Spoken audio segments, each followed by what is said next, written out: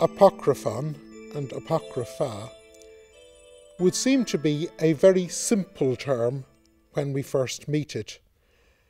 It comes literally from those things which are hidden or those books which are hidden, a hidden book or the hidden books. And at a very simple level, it just means those books which are not canonical, those books which have not made it into the official Bible. But a moment's thought brings up two problems.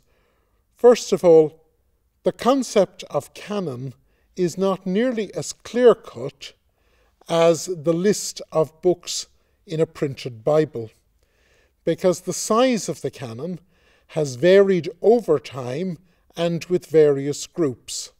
And so when we use the word apocryphon, or the plural apocrypha, we are often dealing with works which, for one group, are considered to be sacred writings, and for another group, are considered to be merely parallel to the canon, and for another group, are the very opposite of the canon.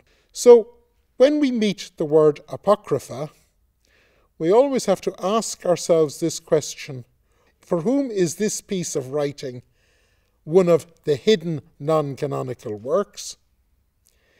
If it is a non canonical work, is it automatically to be rejected or is it to be seen as merely parallel to the canon?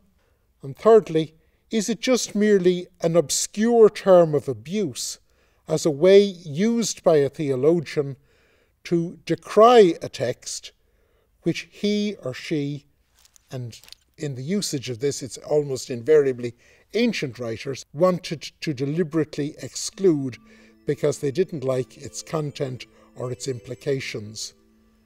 You can never use the word apocrypha in a neutral sense.